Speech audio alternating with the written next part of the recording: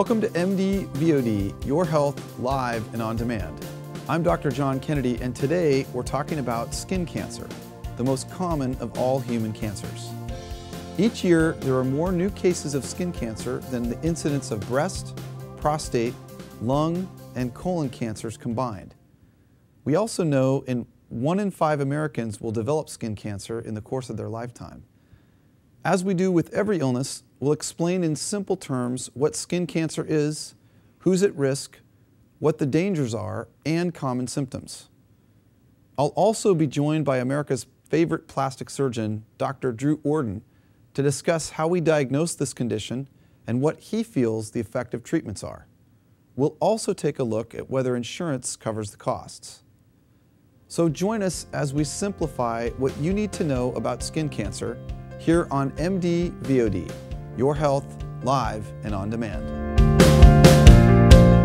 We're back on MD VOD, Your Health Live and On Demand, talking about skin cancer. As we mentioned, this is the most common form of cancer in the United States.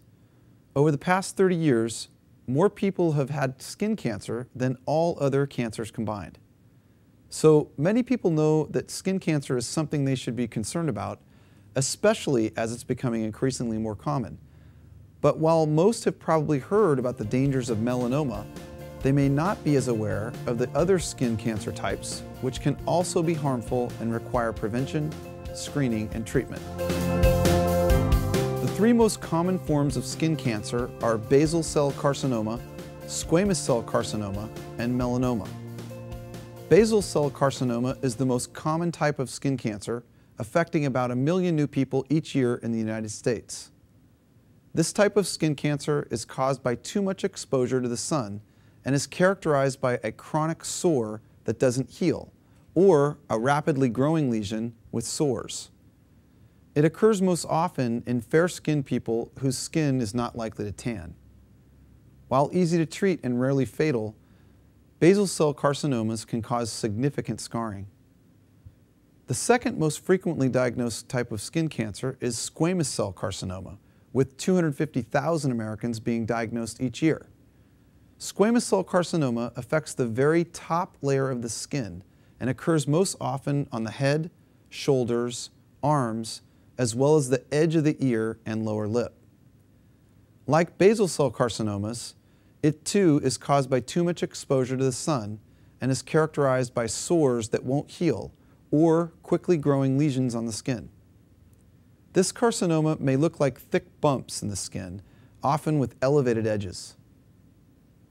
It's easy to treat and not usually serious, but should be caught early and treated to prevent the spread to other organs.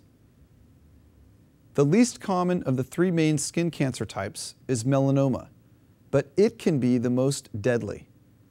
When melanoma goes untreated and spreads beyond the skin and into other body parts, the condition can become very serious. Melanoma is again caused by too much exposure to the sun, but it's more common in those that have had severe blistering and sunburns, a lot of moles, fair skin, and a family history of melanoma. This type of cancer may look like an irregular mole or a mole that bleeds, which may feel sore, hard, swollen, itchy, and can appear anywhere on the body. When caught early, melanoma can be cured. But if not addressed until advanced stages, melanoma can be fatal. They all may look a little different, but you can help reduce your risk of all skin cancer types the same way by being smart about the sun. Reduce exposure to the sun's harmful rays by using a high SPF sunscreen, wearing hats and long sleeves, and limiting how much time you spend out in the direct sun. Follow these skin cancer prevention tips and your skin will thank you. And make sure to get to know your skin very well. Do a full body check and it might help to get a partner or friend to look at the hard to reach areas. Try to do this every month and make sure your doctor does a skin check at least once a year. This will increase your chances that any skin changes can be identified and dealt with very early. Because as with any cancer, skin cancer has the best outcome with early diagnosis and treatment. Sometimes precancerous skin conditions are seemingly harmless changes in the skin that can signal dangers ahead. So pay attention. If you're diagnosed with a precancerous lesion, it can usually be easily treated with a topical cream or a minor procedure to remove the growth and keep it from developing into skin cancer. To protect your skin and spot the early skin cancer signs, be on the lookout for new growths or sores that don't heal, and see a doctor as soon as possible if you detect something suspicious. If you see something that's new growth, you should make an appointment. It's not an emergency, but don't procrastinate. And here's something easy and helpful to remember about moles on your skin that might be cancerous. Remember your alphabet, because thinking of A, B, C, D may actually save your life.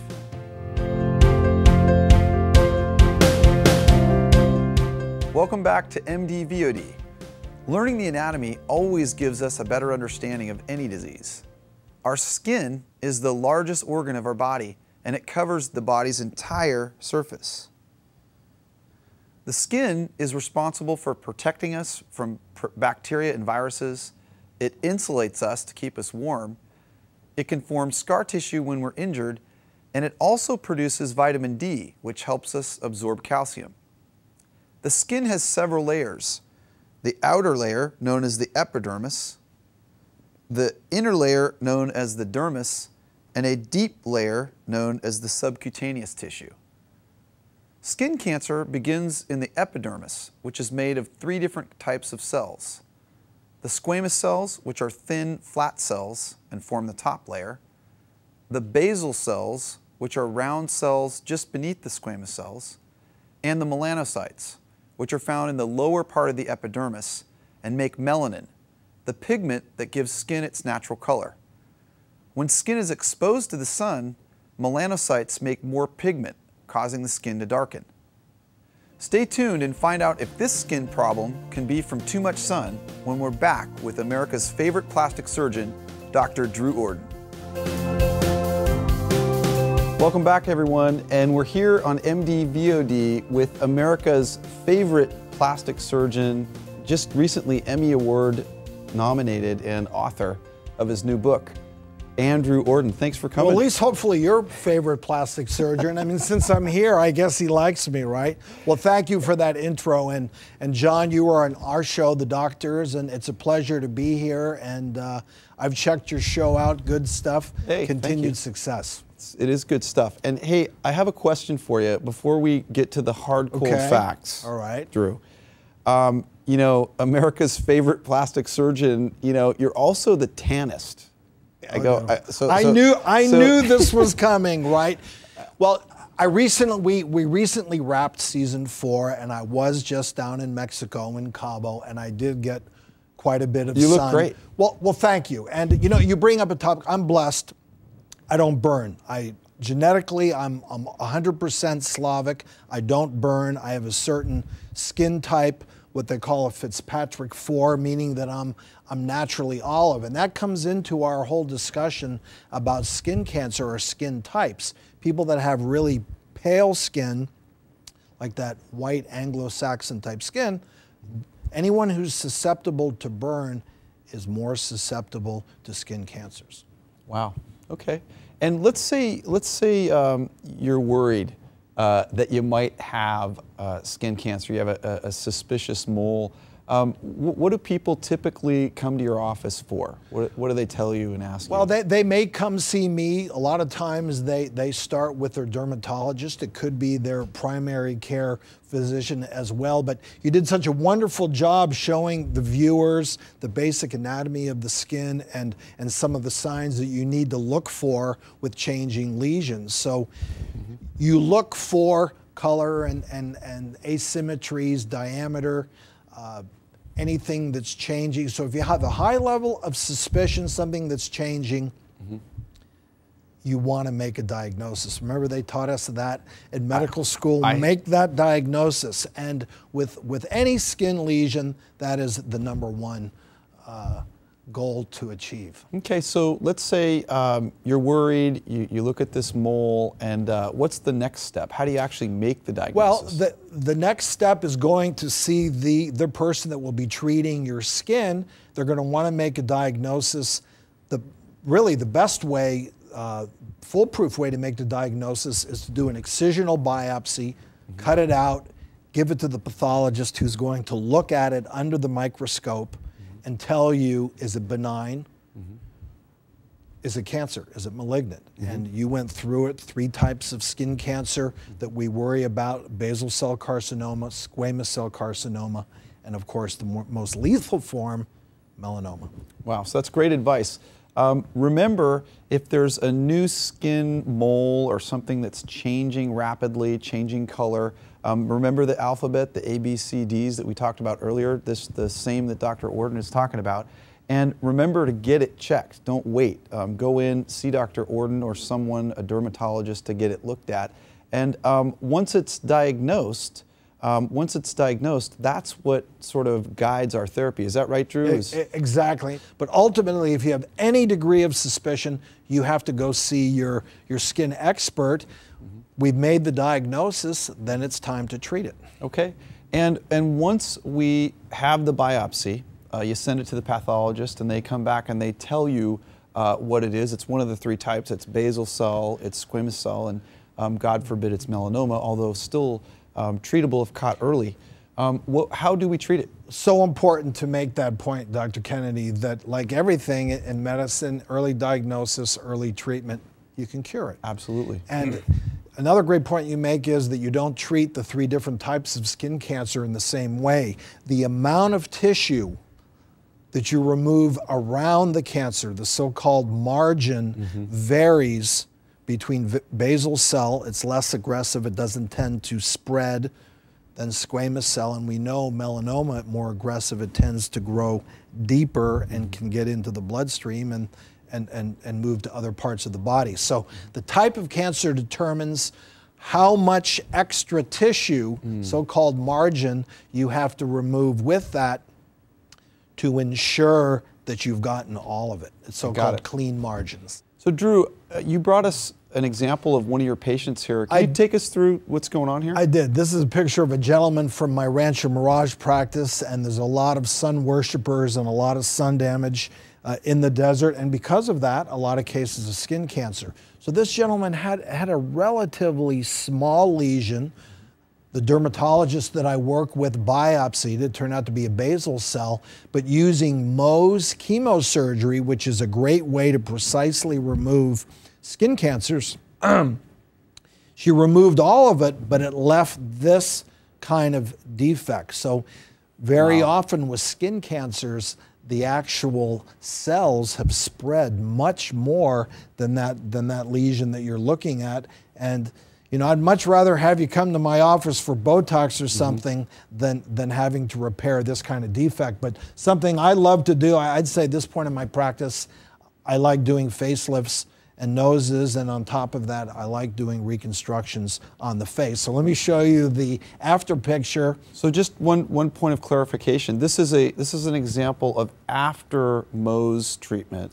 And Mohs treatment is a way to remove the basal cell cancer with accurate margins. Is that right? Exactly. And, and the point being that very often you end up having to remove much more tissue than you thought. Mm-hmm. And if you used another technique, chances are this, this skin cancer would have come back. So, wow. Okay, that so is like the advantage. freezing or burning or something we talked you would, about. You'd earlier. miss it, and you'd have to come back, and you may have to end up even re- removing more tissue from this gentleman's cheek. So I'm a firm believer in that. The dermatologist removes it, makes a diagnosis, uses Mohs chemosurgery to definitively remove that skin cancer, and then sends the patient to the plastic surgeon for reconstruction. Uh, so the pathologist has told you, hey, Drew, there's clean margins here the cancer. Well, when gone. they do Mohs chemosurgery, the, the, it's going right then and there. They wow. send the sections to the pathologist, who tells the dermatologist, "You're clean, you're good, you're done," or you have to go back and get some more. Wow. So you've got rid of the cancer, but you still have this defect, and that's where you come in. That's where the plastic surgeon Got comes it. in, and uh, we have the after picture. Pretty, pretty nice result doing just what we call a primary closure. We develop cheek flaps uh, on either side of this defect. Wow, it's just amazing. advance them in, and he healed very, very well. You can barely see that, but That's incredible work. You're far, you're far better avoiding that skin cancer in the first place. Wow. Incredible advice. Hey, good stuff. Thanks so much, Dr. Drew Ordon. John, I could go all day with you. This was, this was good stuff, stuff. and I, I think we gave some great information to your viewers out there. No doubt. Hey, up next, join us on our Apple a Day when we learn more tips about preventing skin cancer. We're back with an Apple a Day and common sense tips to help minimize the risk of skin cancer. With or without skin cancer, keeping your skin clean and moisturized is key. Wash your face each morning and each night and use a mild soap or facial cleanser. Avoid harsh soaps that can dry the skin and be gentle using circular movements. Always use a moisturizer with sunscreen of at least SPF 15 after you wash. And look for a moisturizer that contains an ingredient called microfine zinc oxide. It will provide sunscreen and anti-aging protection from UVA and UVB radiation. And remember to exfoliate. Gently scrub your face a few times a week with an exfoliant and be sure not to exfoliate every day. And don't forget your body. Use a gentle body wash that also moisturizes your skin over your entire body. Experts agree on the use of one product that patients who have received skin cancer treatment should never skip. That's sunscreen. Wear it daily. Start every day by applying a broad spectrum UVA UVB sunscreen of SPF 15 to your face and body. Higher SPF is recommended if you are going to be out in the direct sunlight for extended periods of time, rather than just running around doing errands and getting only brief sunlight exposure. If you still feel you need a suntan glow, opt for self tanners or bronzers instead of tanning beds. In the long run, you'll be glad you did. Other products to consider are antioxidants, such as vitamin C, vitamin E, coenzyme Q10, as well as some cholesterol lowering drugs, topical retinoids, such as Retin A, and non-steroidal anti-inflammatory drugs. Talk to your doctor to see if any of these might be helpful to add to your skincare regimen. Remember to be careful with over-the-counter herbal skincare products because the words natural or herbal on the label doesn't always mean it's safe for your skin. And be sure to stay on top of the latest news about skin cancer at cdc.gov because the more you know, the more successful you'll be in living with skin cancer or any condition.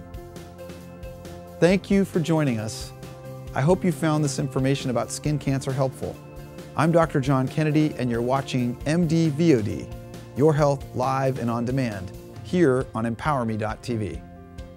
And don't forget to like us on Facebook, follow us on Twitter, and share us with your family and friends.